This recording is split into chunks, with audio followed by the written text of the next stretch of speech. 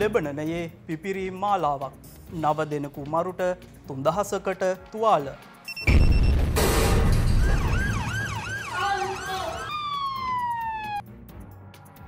මැතිවරණ ප්‍රචාරණ කටයුතු අද මධ්‍යම රාත්‍රියෙන් අවසන්.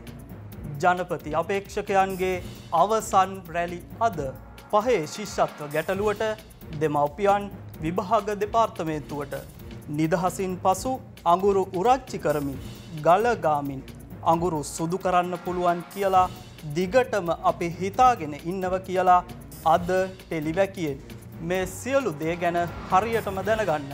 සැමට කලින් සත්‍ය හරියටම ඔබට කියන සියත සවසහය ප්‍රධාන පුවත් විකාශය සමගින් එක්වන්න.